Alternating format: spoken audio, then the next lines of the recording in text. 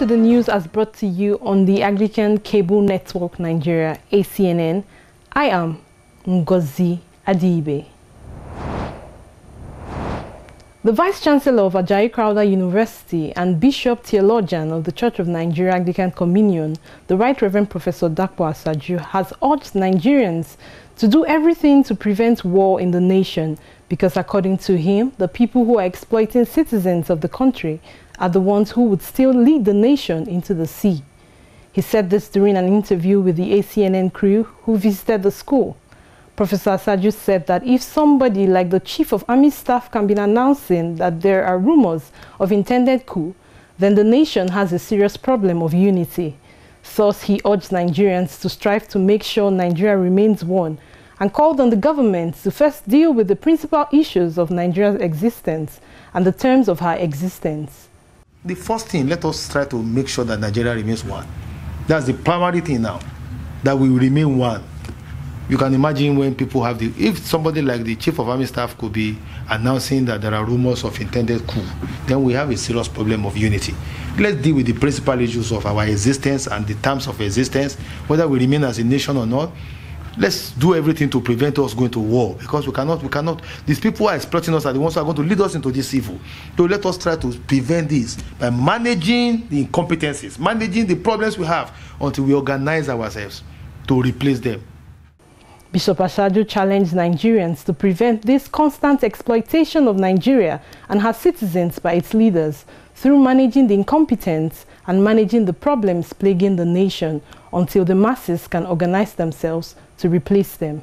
He, however, questioned whether the masses were ready to replace incompetent leaders because, according to him, 2019 is around the corner, and yet those talking are the same politicians who have been in power and not men of ideas who can get the country out of its struggles. But are we really on the way to replacing them? 2013 is around the corner. Who is talking? It's not the same politicians? Those who are men of ideas who can get us out, they are not talking. They are not forming themselves into political parties. So how do you want to wrest power from them? We continue to to wander around in the wilderness. One day we'll get to the promised land. Still on the unity of the Nigerian nation, Catholic Archbishop of Lagos, His Grace Most Reverend Dr. Alfred Adewale Martins, has added his voice to the call to maintain one Nigeria. He said that Nigerians stand to gain more living together Hence, they must shun every act capable of further polarizing the country. The prelate, while expressing deep concern over the discordant tunes and call for disintegration being championed by some youths across the country, warned of the consequences of another civil war. According to him, the recent directive by the Arewa youths for the Igbo to leave the north on or before October 1, 2017 was unacceptable and capable of further deepening the schisms being experienced across the country. He urged the federal government to do everything possible to find a lasting solution to the genuine agitations of the various ethnic groups in the country in order to give everyone a sense of belonging.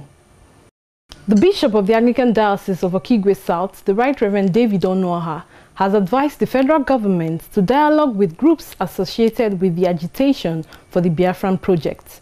He said this will enable the government to understand why, after 47 years of the end of the civil war, the idea and clamor for the state of Biafra seem to be gaining fresh momentum. Delivering his 92-page bishop's charge at the third session of the Eighth Synod of the Diocese held at St. Stephen's Church, Umudure Ekwele, Ehime Mbano local government area of Imo State, the bishop further opined that it would be a better approach to take steps to address the obvious injustice, marginalization, suffering, and hardship the southeast geopolitical zone has been subjected to since after the civil war. While condemning the brutality with which the law enforcement agencies adopt at demonstrations and activities of the group, he maintained that violence was not a solution to the problem, noting that all over the world, force has no place in winning ideological wars. Speaking on the theme for the Synod, Sowing and Reaping, the law for all time, Bishop Onuoha commended the federal government on the sustained war against corruption despite obvious challenges and inadequacies, noting that the introduction of the Treasury single account and the whistleblowing was rubbing off positively on attaining desired goals.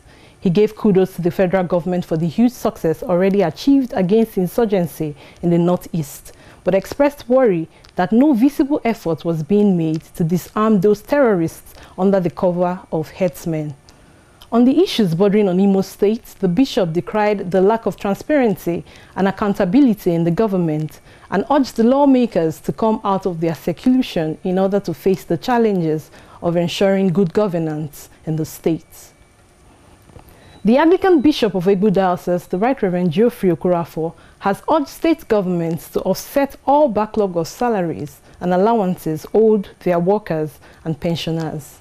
Bishop Okorafor, who gave the advice during a Eucharistic service of confirmation, admission and induction for Emekuku Parish at St. Stephen's Church, Emekuku, in Owerri North Local Government Area of Imo State, said it was appalling that only nine states of the Federation could boast of full payment of salaries to its workers.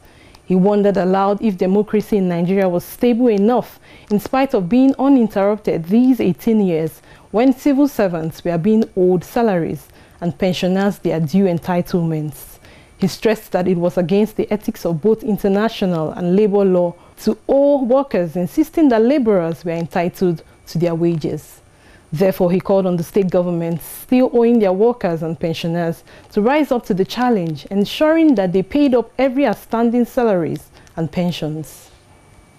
A cleric has reiterated that the Nigerian nation is endowed with stupendous natural mineral resources that if skillfully extracted and money realized is judiciously spent, Nigeria will be one of the richest countries in the world that will be lending and not carrying the burden of loans on its neck.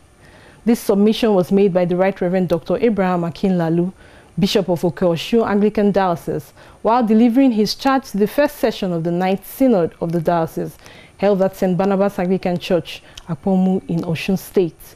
Bishop Akinlalu appealed to those in charge of the collection of the ill-gotten wealth to do something remarkable with the loot and the culprits brought to book.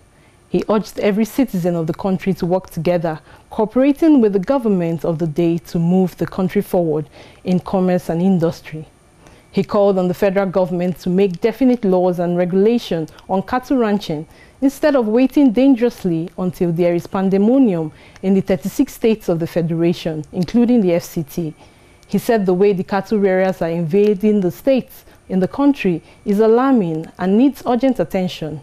According to him, it's an ill wind that will blow no good.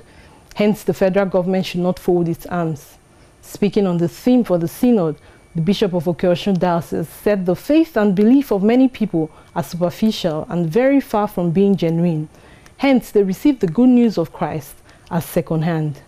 According to him, Nigerians like second-hand materials, and to them, everything is tokumbo, including their faith. He said tokumbo faith cannot be steadfast but slippery. It cannot be immovable but runs after wealth and worldly desires. Bishop Akinlalu concluded that the good news should not be confined but shared with others. After the break, federal government reacts to news on removal of Christian religious knowledge from secondary school curriculum. Please stay with us. Ajayi Crowther University admission for the 2017-2018 academic session has commenced. Programs on offer include undergraduate, postgraduate, part-time, HND conversion, foundation and pre-degree in faculties of law, humanities, natural sciences, social sciences and management sciences. Our tuition is affordable and payable in three installments. Visit the university website at www.acu.edu.ng for online application, screening and admission letter given our state-of-the-art facilities, well-equipped library, decent learning environment, and distinguished lecturers. Apply now by logging on to www.acu.edu.ng. For details, call 0814 592 0637 or 0810 440 8768. Ajayi Crowther University, raising godly intellectuals. Welcome back to the news as brought to you on the Anglican Cable Network Nigeria. We encourage you to follow us on our social media platforms for our interesting programs and activities. Search and like us on Facebook, follow us on Twitter, and subscribe to our YouTube channel at ACNN TV. For inquiries and suggestions, write to acnntv at gmail.com or our WhatsApp number all showing on your screen. You can also be part of our news crew by sending us stories and pictures of events happening in your local church or diocese and we promise to use them. The 2017 Mothers Union and Women's Guild Conference of the Diocese of Lokoja, Lokoja Province started with a Eucharistic service at Christ Anglican Church, Lokoja. The preacher at the opening service, Reverend Eme, a priest at St. Philip's Anglican Church, Gadumo, Lokoja, who spoke on the theme, Obedience is better than sacrifice, defined obedience as a submissive behavior to one another. He said that God does not require the sacrifices of Christians whose obedience is in doubt. Therefore, he encouraged women to be obedient to God, their husbands, and all constituted authorities because disobedience leads to broken homes. Also speaking on the theme, the Reverend Canon Metzeru, the 2017 guest preacher, who is the supervising priest of Basa East Agjikinri, Lokoja Diocese, defined obedience as dependent trust in God and sacrifice as giving something valuable to someone else or for something else. He stressed that sacrifice is not a bribe and must not be seen as such, pointing out that Saul failed God's test on his obedience. He defined disobedience as doing one's own will and ignoring God's directives, adding that God hates disobedience because it is likened to divination and idolatry. He highlighted the consequences of disobedience as rejection by God, death, emptiness, replacement, and fear, and the benefits of obedience as longevity of life, peace of mind, and security, divine provision and favor, concluding that one must be in Christ so that his grace and spirit will help one to be obedient. In her address, the president of the Mothers Union and Women's Guild, Diocese of Lokoja, Mrs. Abiodun Egbunu further defined obedience as a human and animal behavior and a form of social influence in which a person yields to explicit instructions or orders from an authority figure determined by prestige or the appearance of power. She enumerated four factors that influence obedience as one's knowledge of God, seeking God with one's whole heart, returning to the Lord, and seeking first the kingdom of God and his righteousness. She concluded the charge by enjoining all to leave the conference with the conviction to obey God unconditionally and to believe in the Lord Jesus Christ. Meanwhile, at the Thanksgiving service held to mark the end of the conference, His Grace the Most Reverend Emmanuel Egbunu, the Archbishop of Lokoja Province and Bishop of Lokoja Diocese, stated that a person's intimacy and constant obedience to God shows how much that person knows Him adding that one's knowledge of God reflects in how one worships Him, especially through giving, which is an act of worship. He concluded the sermon by emphatically stating that obedience to God must be total because there is nothing like partial obedience. Archbishop Egbunu stressed that one must never replace obedience with sacrifice because even though obedience involves sacrifice, obedience is more important. This year's conference featured seminars with the topics learning and service, opportunity in the church, and creating opportunities for the kingdom in your workplace. High points of the 2017 Mothers Union and Women's Guild Conference of the Diocese of Lokoja include workshops on cooking, prayers, health talks on breastfeeding, care of the eyes, ear and body, hypertension and arthritis, group Bible studies, drama, quiz competition, morning devotions, and the investiture of the profile mother, Honorable Mrs. Omolara Obayemi. The Federal Ministry of Education has debunked reports that Christian religious knowledge, CRK, has been removed as a subject of study from the curriculum of public secondary schools in Nigeria, while Islamic Religious Studies, IRS, has been reintroduced. Debunking the reports, Director of Press, Federal Ministry of Education, Mrs. Chinenye Ihuoma pointed out that the ministry has designed a new subject which merged civic education, IRS, CRK, and social studies into religion and national values, though they are to be taught separately. Mrs. Ihuoma told reporters that the alteration is not from the minister, but purely from the National Council on Education, she said that just like the council had said that history should be a subject of its own at the basic level in the first nine years, a new subject has been introduced called Religion and National Values, which is a fusion of religion and civics. The Executive Secretary of the Nigerian Educational Research and Development Council, NERDC, Professor Junaidu, also corroborated that the claims peddled on social media platforms and a national daily that Christian religious knowledge has been removed from schools' curriculum are speculative, false, and unfounded, specifically as regards the religion and national values curriculum. He said the subjects civil education, social studies, Christian religious knowledge, Islamic studies, and security education under the religion and national values curriculum are distinct and taught separately on the timetable.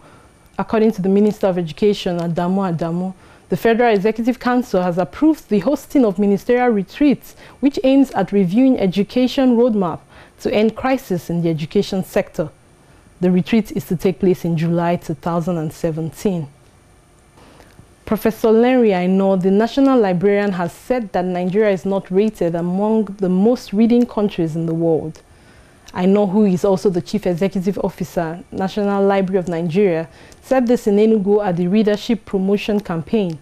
He said that a recent study on the most reading countries in the world showed that Nigeria was not mentioned in the ranking, while Egypt and South Africa were among the first 30 countries rated. According to him, leading world nations pride themselves on their promotion of reading, and they see a high level of literacy as a major source of their competitiveness and social maturity. Aina explained that the absence of a widespread culture of reading in Nigeria acts as an effective barrier to the development and international competitiveness of the country.